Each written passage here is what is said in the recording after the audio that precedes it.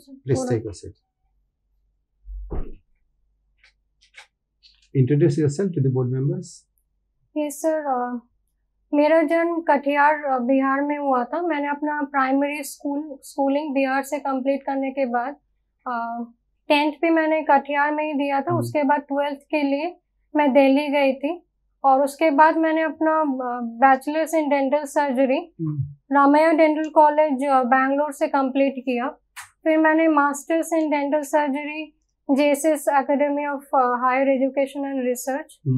और फिर मैं पटना में आके I was working as an assistant professor यहाँ Buddha institute of dental sciences मेरा हॉबीज है सर सिंगिंग तो ये जो आपने इतना कुछ किया है अ, 2015 से लेके 2023 तक आपका ये अ, जो पीरियड है तो ये इस पीरियड में जो कुछ भी आपने एक्वायर किया है जो भी नॉलेज आपने गेन किया है जो एक्सपीरियंस आपने गेन किया है आ, वो सब एक्सपीरियंस छोड़ के अब आप सिविल सर्विस में आना चाहते हैं जहाँ पे इन सब चीज़ों की कोई ज़रूरत ही नहीं है।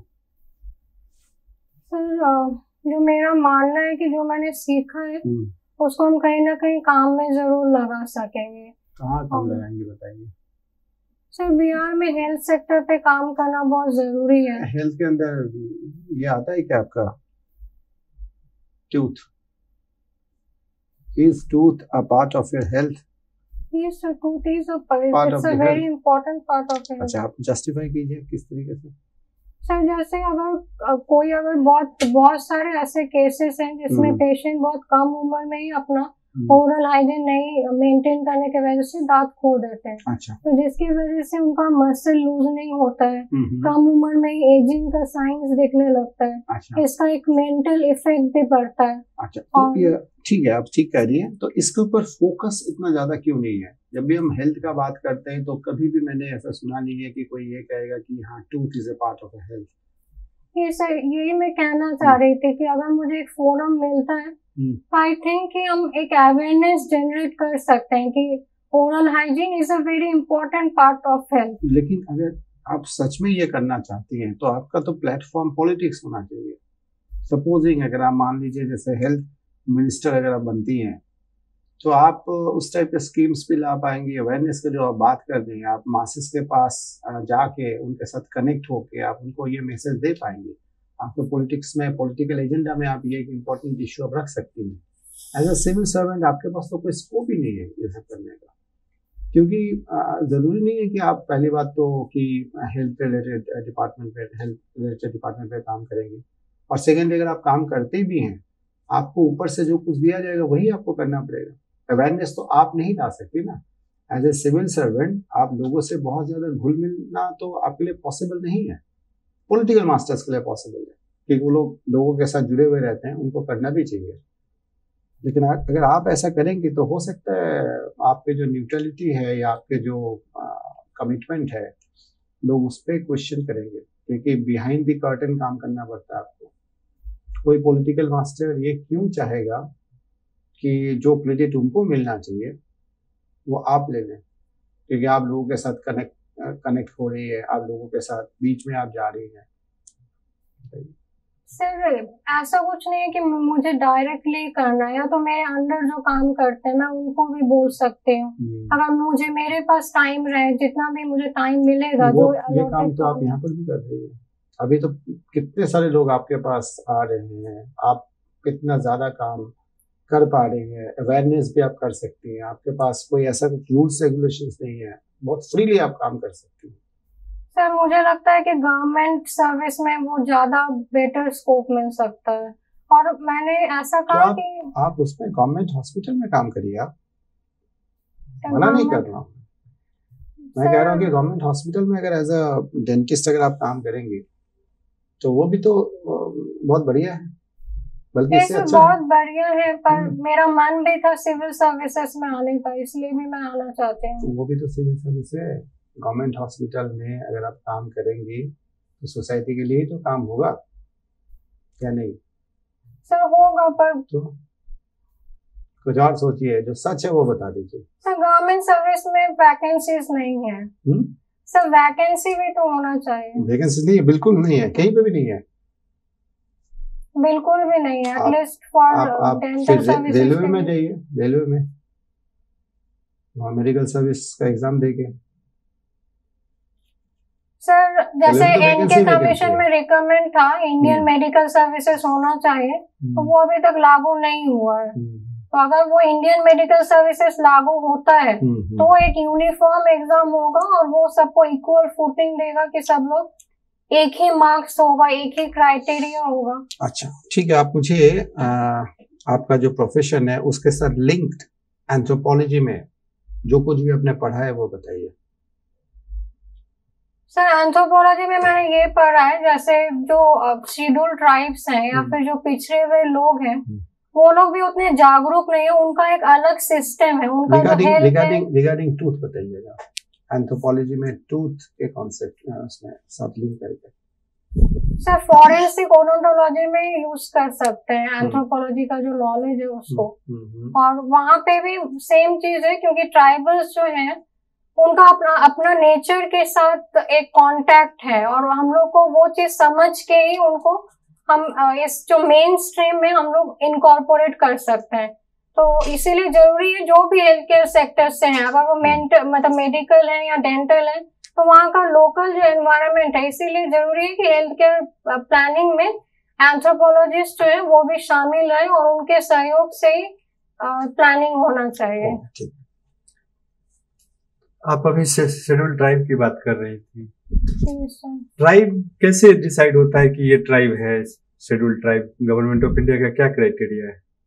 सर कॉन्स्टिट्यूशन में ऐसा कुछ मेंशन नहीं है, पर सरकार जो देखती है कि कुछ प्रीमिटिव ट्रेट होना चाहिए, उनका जियोग्राफिकल आइसोलेशन होना चाहिए, उनमें बैकवर्डनेस देखा जाता है द शाइनेस जो देखा जाता है कि वो बाकी लोगों से उतना घुल मिल नहीं पाते। हैं तो ये सब चीज़ें देखते हैं। तो क्या आपको नहीं लगता है कि ये क्राइटेरिया जो है वो बहुत ही भद्दा तरीका है मेजर करने का कि हम बैकवर्डनेस हम कौन होते हैं ये बोलने वाले कि उनका बैकवर्डनेस कितना है?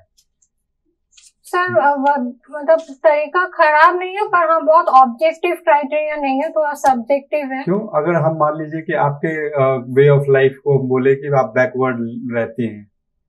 तो हम कौन होते हैं ये डिसाइड करने वाले कि मेरा जो वे ऑफ़ लाइफ है वो सुपीरियर है और आपका जो वे ऑफ़ लाइफ है वो बैकवर्ड है? ये सर ऐसा, ये चीज़ बैकवर्ड लैंग्वेज यूज़ करना सही नहीं है। इसीलिए ये कहा गया है कि मतलब जवाहरलाल नेहरू जब प्राइम मिनिस्टर थे ऑनरेबल जवाहरलाल नेहरू, उन्होंने निकाला था, कुछ पॉइंट्स था जो मुझे एग्जैक्टली exactly नाम याद नहीं है, इसीलिए ये कहा गया था कि जब ट्राइबल सब प्लान ये सब तैयार हो रहा था कि उनका जो ओरिजिनल जो उनका उनमें भी कुछ अच्छाइयाँ हैं तो उसको मिटा लेकिन ये क्राइटेरिया तो उन्हीं के समय से डेवलप हुआ जो अब तक चला आ रहा है।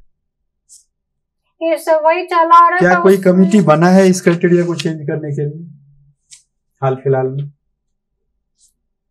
हाल फ़िलहाल में या कोई कमिटी इसके अगेंस्ट में कुछ ज- ऐसा सजेशन दी है कि अब क्राइटेरिया को चेंज करना चाहिए? सर सॉरी सर मुझे देखना होगा मुझे अभी बस मुझे ये पता है कि वो जो पर्टिकुलरली वनरेबल ट्राइब्स के लिए जो रिसेंट स्कीम आया है बस उसके बारे में मैं अच्छा सपोज़ कीजिए कि आप अ, किसी अनुमंडल के अनुमंडलाधिकारी हैं और आपके एरिया में ऐसे कुछ ट्राइब्स का पॉपुलेशन है शेड्यूल ट्राइब का जो जंगलों में रहते हैं। बहुत कम पॉपुलेशन है और कोरोना वायरस वायरस पेंडेमिक चला हुआ है आपको सबको वैक्सीन दिलाना है। जब आपकी टीम वहाँ पहुँचती है तो वो लोग वैक्सीन लेने से मना करते हैं। और कई बार वायलेंट भी हो जाते हैं। तो ऐसे कंडीशन में आपका क्या स्टेप्स होगा? कैसे वैक्सीनेशन इंश्योर करेंगे या क्या करेंगे? सर, हम यही कर सकते हैं कि अगर वहाँ पे उन लोग का कोई तो लोकल ट्राइबल हेड भी होता है तो कोशिश करेंगे कि उनके साथ कुछ कांटेक्ट हो जाए। और आसपास के जो लोग हैं, अगर जो उनका लैंग्वेज जानता है, अगर कोई एंथ्रोपोलॉजिस्ट मिल रहे हैं जो, जिन्होंने उस एरिया में काम किया है तो उनके साथ कांटेक्ट करके हम उनको कन्विंस करके ये मतलब आगे कुछ कर सकते हैं। चलिए तो नीट पीजी दिया था आपने। नहीं मेरे टाइम में नीट नहीं आया था मैंने ऑल इंडिया तब था वो मैंने दिया था। तो नीट पीजी में इस बार न्यूज़ में आया था कि ज़ीरो परसेंटाइल कर दिया गया कट ऑफ़ को हाँ। क्या है ज़ीरो परसेंटाइल परसेंटाइल है क्या? सर परसेंटाइल मतलब जिनका भी हाईएस्ट परसेंटेज रह रहा है उसके कंपेयर में निकाला जाता है परसेंटाइल मुझे एग्जैक्टली exactly मैथमेटिक्स के टर्म में नहीं बोल सकते हैं पर इसमें मतलब परसेंटेज का जो क्राइटेरिया है उसको हटा दिया गया। जैसे पहले था मिनिमम फिफ्टी परसेंट उसके बाद और भी कम किया गया था मुझे एग्जैक्टली exactly याद नहीं है। अब वो क्राइटेरिया भी जो है कि मिनिमम इतना स्कोर होना चाहिए उस स्कोर को ही हटा दिया गया। है तो उससे यही होगा कि अगर बहुत कोई किसी का बहुत कम नंबर भी आ रहा है तो उनको भी एडमिशन मिल सकता है। अच्छा मेरा लास्ट सवाल आपसे। आपने आ, कुछ देर पहले बोला था कि आपका मन है सिविल सर्विसेज़ में आने के। का अब आप ये बताइए कि सिविल सर्विसेज़ क्यों मन बना है आपको सेलेक्ट करने के लिए? क्यों मन बना है? क्योंकि मुझे लगता है कि मैं सिविल सर्विसेज़ में जाके अच्छा काम कर सकती हूँ जो क्वालिटीज होना चाहिए। मेरे ख्याल से जो सबसे इम्पोर्टेंट थिंग है कि पहली बात तो काम करने की इच्छा होनी चाहिए एक नौकरी मिलने के बाद भी। दूसरा चीज़ है कि honesty integrity and to have unbiased opinion तो ये सारी चीज़ें मेरे में है। ये बताइए नैना कि लोक सेवा में बहुत ज़्यादा लोग आए और रिटायर हो गए चले गए हम्म? ऐसा नहीं है कि सुधार नहीं हुआ लेकिन अपेक्षित सुधार नहीं हुआ। इसके लिए आपकी नज़र में कौन जिम्मेदार थे अधिकारी या नेता? सर किसी एक इंसान को ब्लेम नहीं कर सकते ये इनफैक्ट पब्लिक का भी रेस्पॉन्सिबिलिटी है। ठीक। तो हम अगर तीनों के बारे में बात करें तो कौन सबसे ज़्यादा जिम्मेदार है? नेता अधिकारी और जनता। अब आप बताइए। नंबरिंग दीजिए।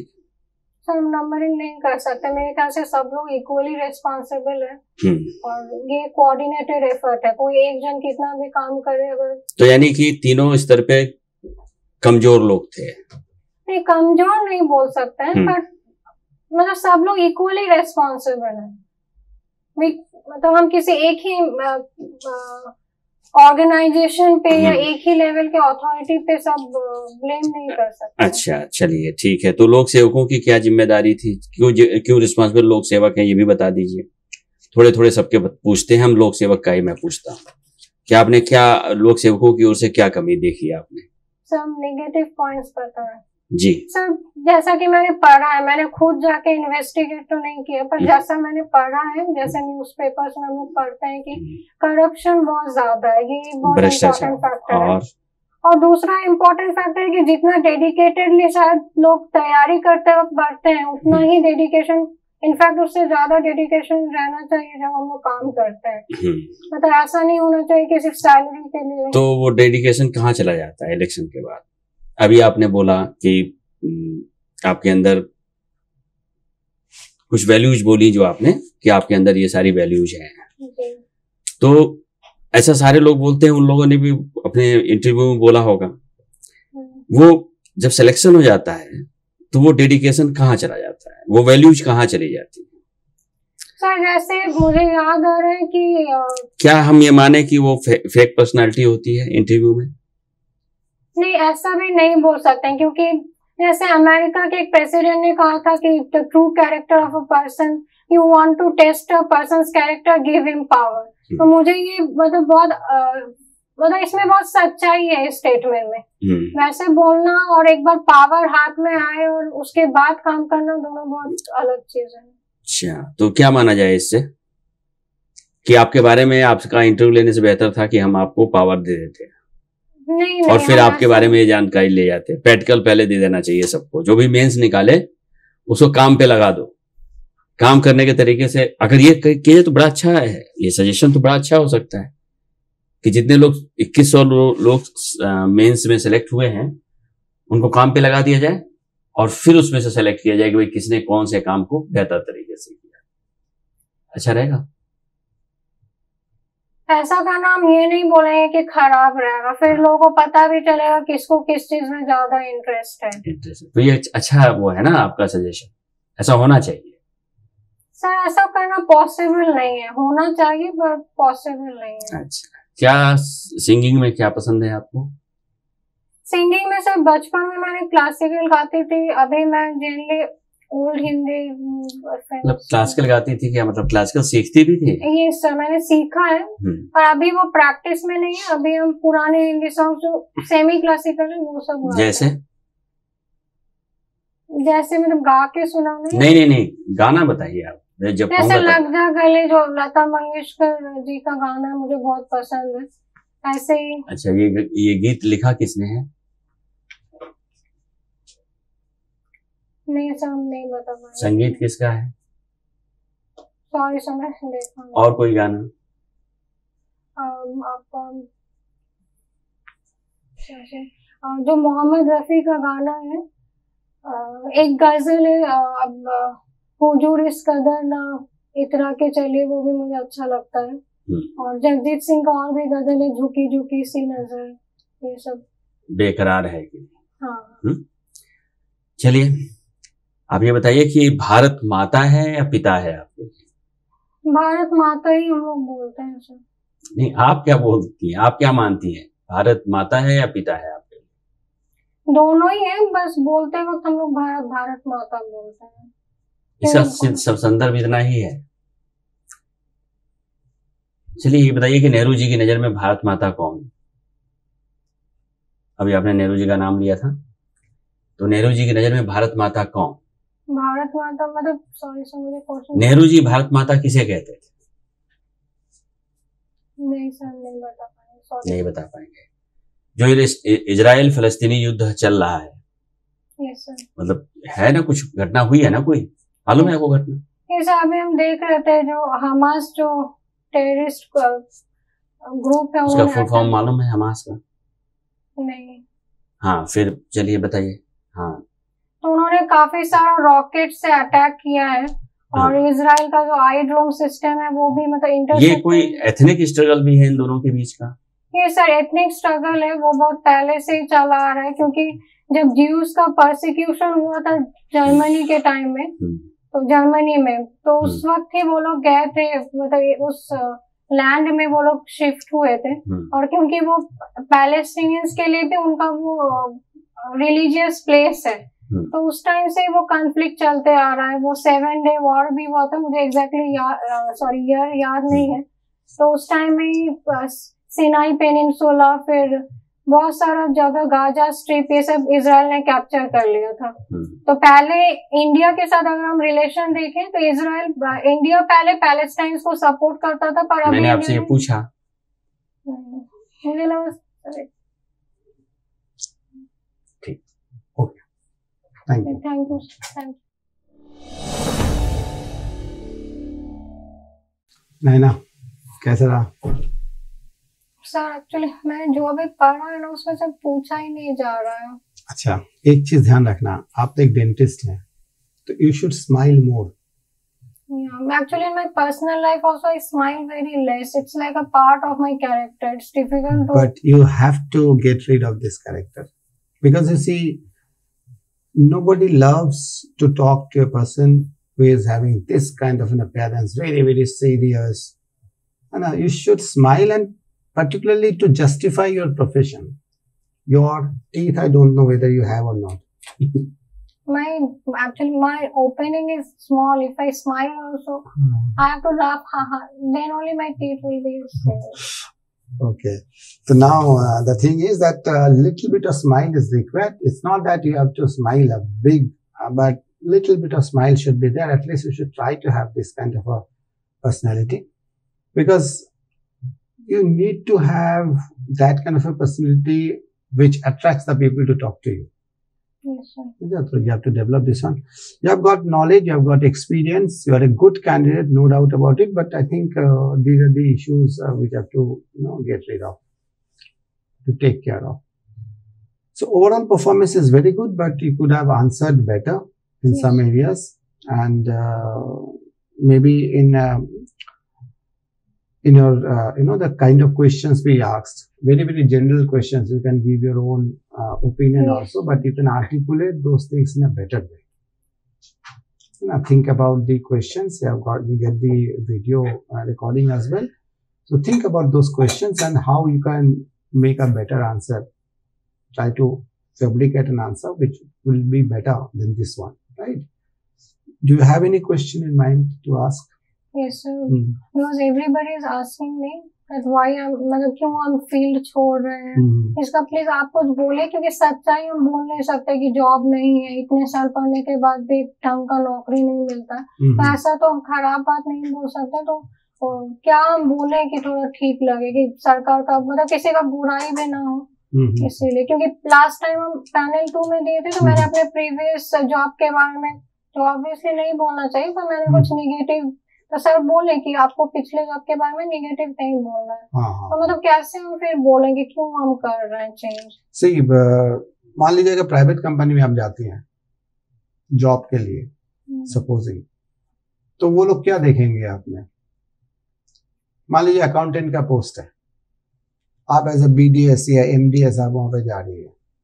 तो प्राइवेट कंपनी वाले क्या देखेंगे? क्यों आपको वो लेंगे? बताइए। एम का वहाँ पे कोई काम है? नहीं। नहीं है। मान लीजिए मैं अकाउंटेंट हूँ मैं जाता हूँ इंटरव्यू देने। मुझे लेंगे या नहीं? अगर मैं अकाउंटेंट हूँ तो। तो बेसिकली जो भी आपके पास है और जो सिविल सर्विसेज़ में जो रिक्वायरमेंट है दोनों को अगर समहाउ अगर आप मैच करा सकती है समहाउ तो आपको सोचना पड़ेगा। तो फिर your suitability will be proved कि why I should be I should come here civil services में सर्टेन क्वालिटीज आर रिक्वायर्ड क्या क्या क्वालिटीज हो सकते हैं आप जरा सोचिए एक सिविल सर्वेंट को जर्नलिस्ट होना पड़ता है। Need to have knowledge of all the aspects number one number two civil servant को न्यूट्रल होना पड़ता है है ना सिविल सर्वेंट में ऑब्जेक्टिविटी होना चाहिए decision making on the basis of merit decision लेना चाहिए। तो एटलीस्ट तीन चार जैसे आप काम करें उसी में से आप ड्रॉ कर सकती है। जैसे आप जब भी आपके मेडिकल साइंस में भी objectivity is required isn't it? Yes, on the basis of the merit of the case आप डिसाइड करती है। पर्सनल लाइकिंग डिसलाइकिंग तो होता नहीं है। ना पेशेंट के साथ होता है ना आपके डिज़ीज़ के साथ होता है। तो ये जो दो चार जो क्वालिटीज है सिविल सर्विस में जिसका रिक्वायरमेंट है, एक जर्नलिस्ट चाहिए सिविल सर्विस में, है ना? तो you have got knowledge of this field and other field also समू एक एक वो डेवलप करना पड़ेगा so that you can find out some kind of suitability between your characteristics and the characteristics that are required in civil service that will be better answer Right? Try to develop this answer and uh, you'll do good. Any other question? Sir, in anthropology, I was reading the classification in a race का जैसे सरकार हाँ, वो ये तो- सब बहुत detail में Classification पढ़- तो ठीक ही था हाँ वो जो बोला था characteristics जो है वो तो ठीक ही था कमिटी बना है उस पे अभी तो उन- उसने रेकमेंड किया है कि ये बहुत ही बैकवर्ड क्राइटेरिया है इटसेल्फ चेंज करना चाहिए बट अभी तक फाइनल रिपोर्ट नहीं आया है इसका सर हम ये पूछना चाह रहे थे कि एंथ्रोपोलॉजी अभी हम रिवाइज कर रहे हैं। जैसे मेंस का जो नोट्स था उसी को रिवाइज कर रहे हैं। तो उसको बहुत डिटेल में कर रहे हैं? उतना डिटेल में तो सब्जेक्ट पे नहीं नहीं। पूछता है कभी। एप्लीकेशन पूछे। और सर ये हॉबी से रिलेटेड कुछ पूछना था। हॉबी ने मैंने मतलब म्यूज़िक का मेरे को कोई थिएटिकल नॉलेज तो अभी है नहीं। फिर भी मैंने घर आना क्योंकि पिछले बार जो क्वेश्चन था नहीं पहली बार तो ये मुझे लगता है कि उसको ये सब क्लासिक म्यूज़िक वगैरह अगर नहीं मालूम है याद नहीं है तो उसको। अवॉइड करो उसमें मत जाओ नहीं तो क्लास मैं भी जाने वाला था अगर हाँ। ये हो जाए थोड़ा सा भी मालूम चलता है क्लासिक म्यूज़िक का कुछ आइडिया भी भी रहा है मैं चला जाता तुरंत तो उसको रहने दो गाना हो सकता है गाने में आपने बताया पाँच चार पाँच गाने जो पसंद के हों जो सुनते हैं अ, उसको दिमाग में रखना चाहिए किसने लिखा है किस फ़िल्म का है म्यूज़िक किसका है ये थोड़ा सा और वो ज़रूरी नहीं है कि जो पसंद है वही कुछ ऐसे फ़ेमस की जो दिमाग में बैठ जाए। उनको भी रखा जा सकता है उन गानों को भी रखा जा सकता है। अगर ऐसा तो नहीं कि कोई भी गाना को पूछेंगे कौन है लिरिसिस्ट कोई गाना नहीं है ऐसा नहीं पूछेंगे वो। ऐसा नहीं पूछेंगे जो आपकी पसंद का गाना है वो इस तरह का पूछेंगे बाकी पूछने के लिए तो कुछ भी पूछेंगे। ठीक है ना? लेकिन वो बेसिकली आपकी पसंद के ही बारे में ज़्यादा वो रहेंगे। अच्छा बहुत लोग इंटरनेशनल रिलेशन भी रख रहे थे हॉबीज में। मैंने नहीं रखा क्योंकि मुझे लगा कि वो तो ऑब्वियसली पढ़ना ही है तो हम सोचे कुछ अलग ही रखते हैं। मतलब हम गाते हैं इसीलिए मैंने हॉबी में जो आपकी हॉबी है वही रखिए उसमें सबसे बढ़िया रहेगा। ठीक है ना? बस वह है कि उसके बारे में थोड़ा सा इन्फॉर्मेशन होनी चाहिए। क्लास क्लास आजकल मत घुसेड़ना नहीं तो फिर बहुत दिक्कत में होगी। अच्छा। ठीक है ना? तो एकदम सिंपल की गाना सुनना बॉलीवुड सॉन्ग सुनना पसंद है। वो सुनते हैं कैसे कैसे सुनते हैं तो जो भी पसंद हो उनके बारे में। एक मैं ये कह रहा था कि वो कौन से सवाल है जो आपने कहा कि मैं जो तैयार करके जा रही हूँ लोग नहीं पूछ रहे हैं। मतलब ऐसे सर ऐसे मैंने जनरल कहा कि मतलब अभी हम करंट अफेयर्स पढ़ रहे थे ना हम्म। तो मतलब उतना मेरे से करंट अफेयर्स या फिर जैसे हम एंथ्रोपोलॉजी से अभी इवोल्यूशन ये सब सारा हम कल रिवाइज किए तो वो मैंने ऐसे ऑब्जेक्टिफाई नहीं किया सॉरी मतलब नहीं नहीं नहीं ये नहीं है। तो जैसे अब उसमें पूछने के लिए उस तरीके का बहुत ऑब्जेक्टिव क्वेश्चन पूछा जाएगा इसलिए नहीं नहीं ये भी पूछा ये पूछा जा सकता है। एंथ्रोपोलॉजी में ढेर सारे क्वेश्चन पूछा जा सकता है। डीप इकोलॉजी पूछी जा सकती है, शेलो इकोलॉजी पूछी जा सकती है। साउथ और नॉर्थ के जो इन्वायरमेंट मूवमेंट है, उसके बीच के डिफरेंसेस पूछे जा सकते हैं। दोनों के अलग अलग एम क्या है, वो पूछे जा सकते हैं। ठीक है, ये भी पूछा जा सकता है कि कौन सा आप एंथ्रोपोलॉजी की स्टडीज़ जो करती हैं आप, उससे रिलेटेड किसी वॉर की बताइए या किसी इंसिडेंट के बारे में बताइए, जिसे एंथ्रोपोलॉजी गलत इस्तेमाल हुआ था। क्वेश्चन तो ढेर सारे हो सकते हैं। ठीक है?